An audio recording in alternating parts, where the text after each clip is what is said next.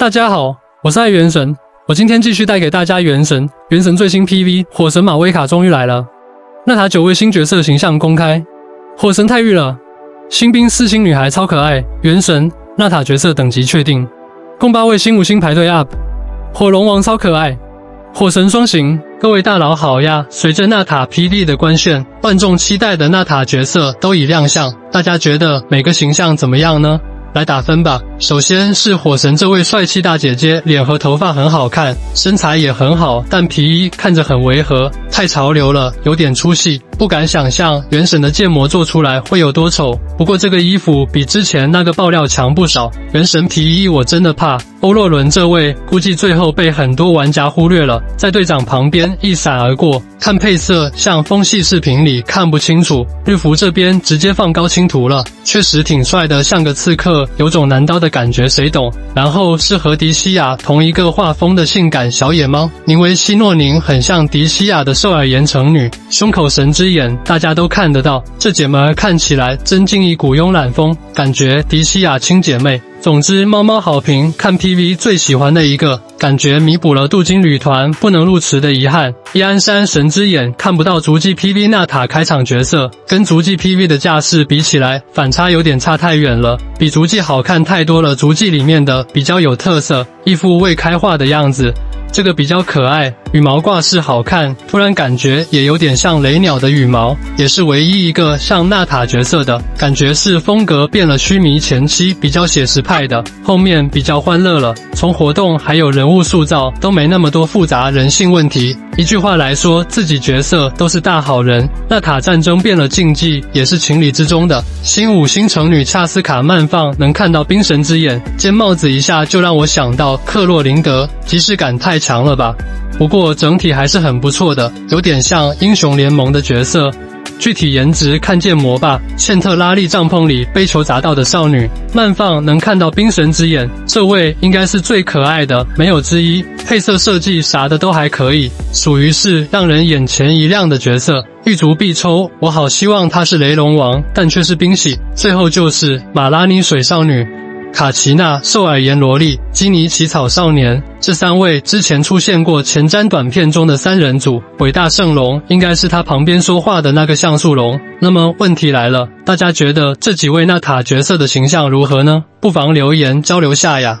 有关内塔版本已知的角色等级和属性已经整理出来了，大家最想先抽谁呢？总感觉原本的美工是不是回来了？这次的每个角色都挺好看的。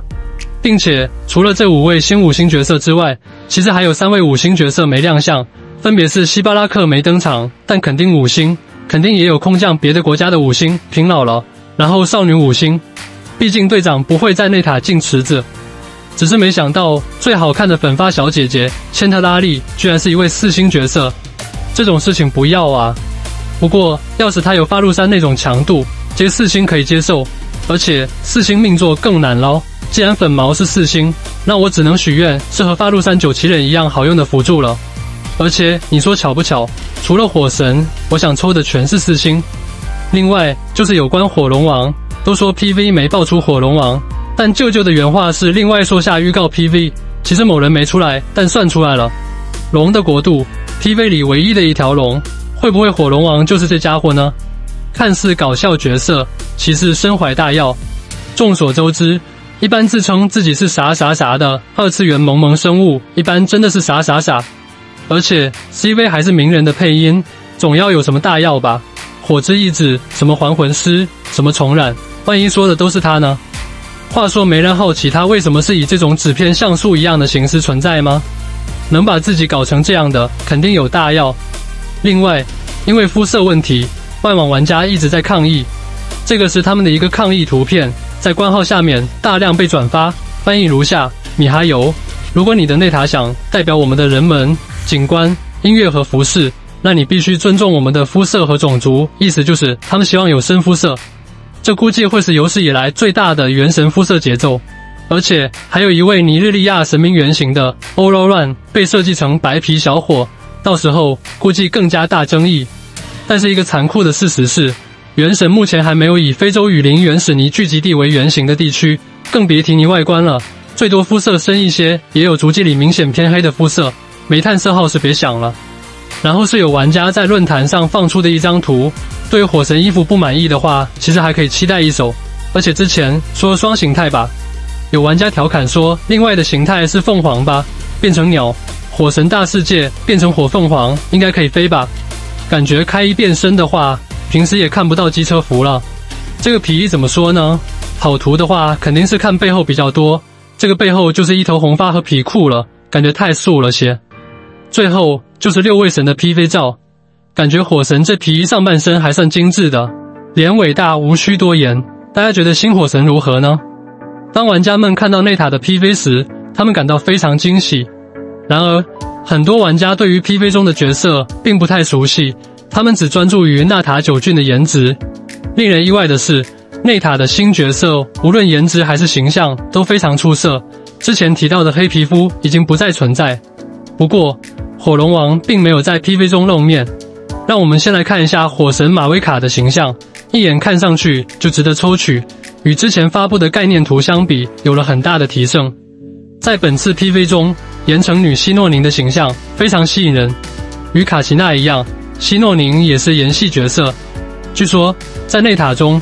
岩系将会有新的反应机制，这个新机制只有在上线后亲自体验才能了解。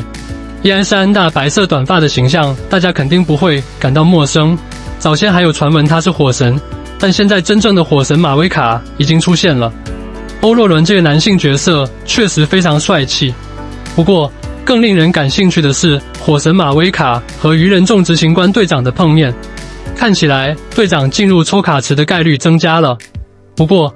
玩家们更加关心的是，少女哥伦比亚何时会进入抽卡池？这是一个备受关注的问题。在身材和颜值方面都非常出众，内塔的角色确实让人惊叹不已。然而，恰斯卡一些玩家表示对他感到眼熟，可能是因为早期克洛琳德的草稿图中有出现过绿色和紫色的元素。恰斯卡确实与克洛琳德非常相似，难道他是内塔的决斗代理人吗？